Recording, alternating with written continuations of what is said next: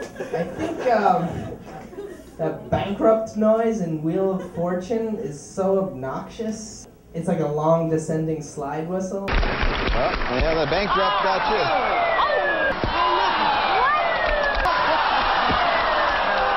you. You can just take all my money. You don't have to be a dick about it.